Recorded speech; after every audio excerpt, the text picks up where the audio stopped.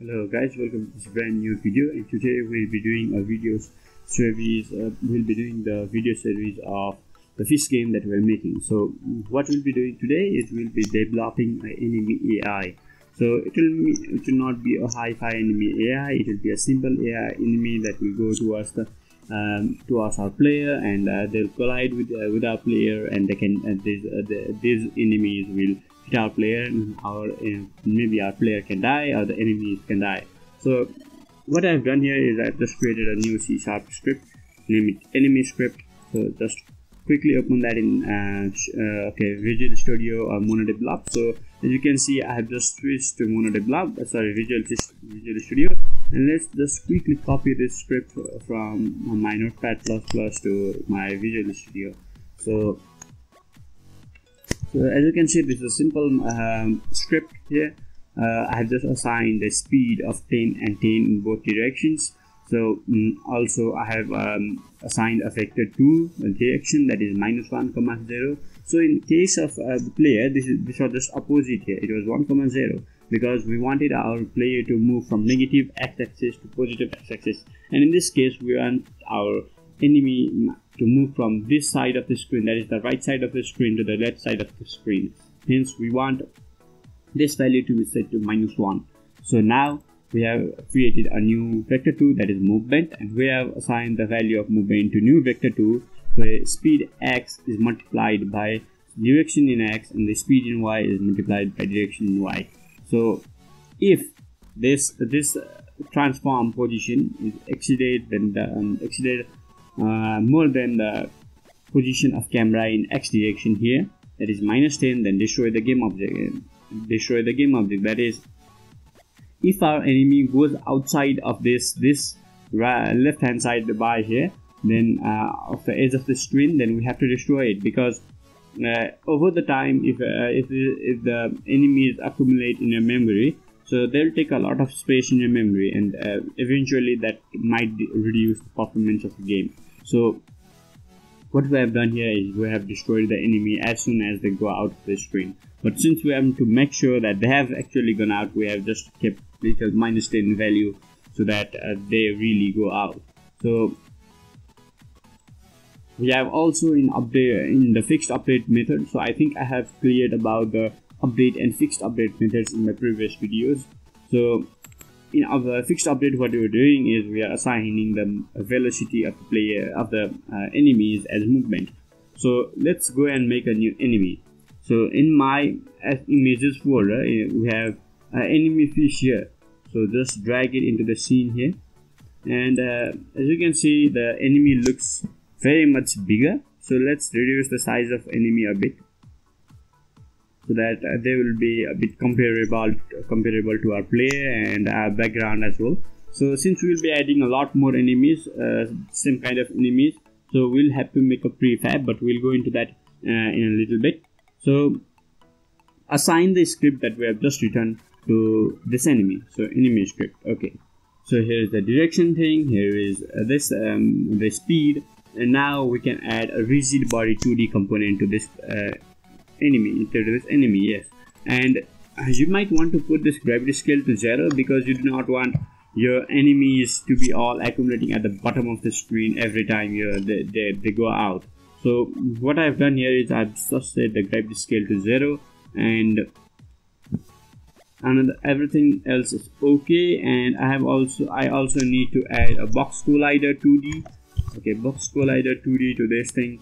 So what box collider does is it lets our enemy collide with our player. So let's quickly go and edit the collider if necessary because um, uh, there might be some rough edges like this because you do not want any players to collide here and die. And in the same case here in the upper ups on the um, up at the up. So let's just set it bit to cover the actual fish area rather than the fins and um, uh, the tail. So this will this might give a, a better collision than uh, than the previous one. So I think this is okay now. Uh, and uh, I think we need to I, am sure we need to add this for our hero fish as well. So add component box collider 2d and then just edit the collider here because we do not want our enemy to collide uh, with the gun. Sorry okay. The gun so just set it to something like this. And yes uh, just uncover the tail and the fin part here too because we do not want oh no no fish normally dies because just they hit the tail so let's make it real uh, likely real although it does not seem so. So it looks okay now and then uh, now we have our enemy fish we have our header fish. Now let's see what they do. Let's see let's play this thing and you can see our enemy goes and hits the player and our player keeps and keeps on revolving around and around so okay, th this is okay. This is what we wanted to do because we have only written the script for our enemy to go in a forward direction. So we have our enemy. This is okay. Now what we're going to do is we want this enemy to be able to multiply itself so we want multiple we want multiple number of enemies many enemies to just go there hit our player and then uh, you know uh, maybe make the player die so to make the game a bit of more challenging. So let's create a empty game object. So call this enemy generator. So this is the enemy generator. And then create a new c sharp script. C sharp script call this enemy generator. Okay that generator i think that is what i intended here so enemy generator script. Okay. Let's just quickly copy this and rename this to enemy generator script. And then uh, okay guys no need to worry about the name and the things that i'm doing here. Um, i'll put this, all these files in the description below. I'll upload these files for you so that uh, you do not have to worry about these things. So i'll explain these scripts to you as well. So what i'm doing here is i'm just assigning a public enemy prefab. So I think you, you clearly understood that we need to create a prefab of this enemy. So I am assigning two variables i and j just for uh, uh, checking the condition stuff. So we do not want our enemies to all to generate at once. They, they will generate randomly at random time seemingly random time to our to our players. So what I've done is I've assigned a double i to a real-time startup. So we, what I'm doing here is I'm taking the time of um, one second. So i minus j is greater than one second. If i minus j is greater than one second, then we are instantiating this transform in prefab as a transform. We are instantiating in prefab into a scene. So this position will be a 15 in what in x. So it means the is of the screen that um, that I think uh, is appropriate. You can adjust these values to your need, and then random random dot range minus 4 comma 4 so what we're doing here is we are assigning the random direction from random position from minus 4 to minus 4 uh, because um, uh, as you can see our camera height here our height of our camera is 5 so height of our camera is 5 means it's 5 in the up and 5 in the uh, 5 from middle in both directions. So it has 5 pixels up here up to here and 5 pixels from center to down here. So that means it's total of 10 positions. So I do not want I have ignored this plus um, minus 1 uh, is here. So up in the both sides I have ignored a 1 uh, value uh, in y. So in random dot range minus 4 comma 4 and uh, j equals to i. So now the real time since startup is been assigned to j so that we can again see if one second has passed and we can generate enemies every second.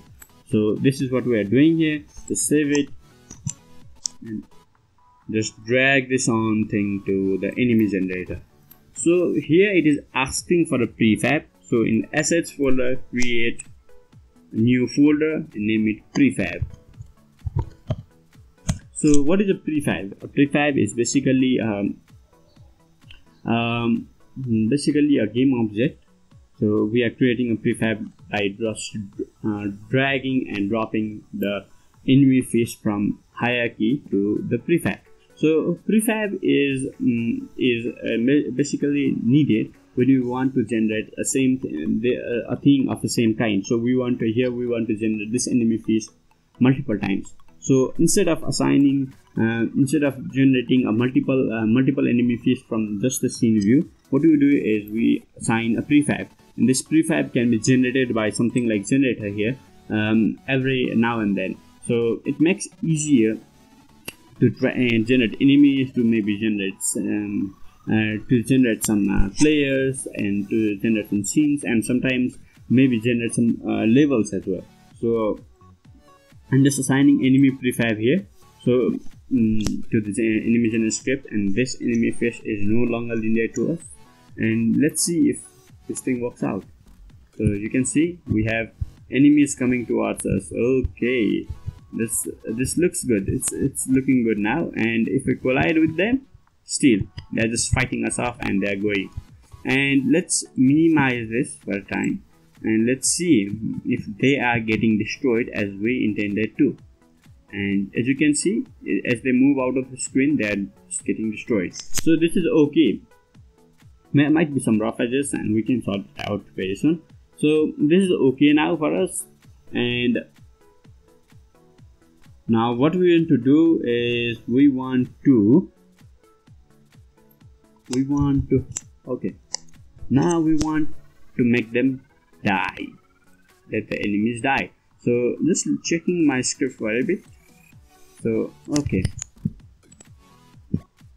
In my scripts folder let me see if I have got the script or I might have to write it okay I think now okay now what we need to do is in this enemy fish prefab here just tick the is trigger in the hero fish as well tick the is trigger in box collider. And let's see if we have the script written. So if we have the right things that we need uh, okay. We have everything written here. So just open the player move script. And in our first video i think we have commented this part here void on trigger enter 2d just uncomment this section out. So if you are in visual studio just use a shortcut key key control key control u. So again these things are not needed here okay for some time this is not needed here so what we are doing here is we are assessing the 2d just the trigger component that just assigned here this trigger. So what we do is if something enters our trigger field then we are assigning this other collider to our hit uh, enemy script. We are searching enemy script inside them. So only thing that is enemy script enabled is enemy. So if hit is not equals to null that means if you have hit enemy then destroy enemy gen. So what is enemy gen? Enemy gen is a public variable that we just commented out here in the top section. Okay enable this. So destroy enemy gen. Again destroy hit game object. That means we are destroying our our enemy that just hit us and we are also destroying ourselves. So since we need to die we are just you can just play animations and things like that but we are not going to that stuff right now. We are just destroying everything. So in the hidden fish uh, as we have just uh, done this thing uh, we have just done the trigger and things like that. So let's see if we what happens when we collide. As you can see we collided with them then we did we are dead.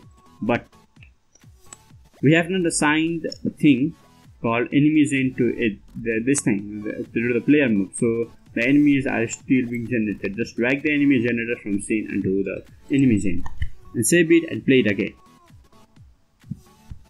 What you should be able to see is as soon as we are dead the fish that are that are in the sea just go out of the screen for some after some time and then after that uh, other things um, stop generating and this background is uh, scrolling as it is so this is what we are doing guys. Uh, we have done to, till today uh, guys. We've just generated the enemy script we have generated enemies. We have um, uh, enabled player depth and things like that. We have uh, we have written a simple enemy AI and and this is okay. This is okay. We are going in the right direction now. So uh, in games like Flappy Bird, you can just assign the same script, this the script, uh, uh, in just change the name and uh, in Flappy Birds, I think those enemy would be those uh, tunnels coming from up and down. So you can assign things like that if you want to uh, make a new game and things like that. So um, this much for today guys thank you for watching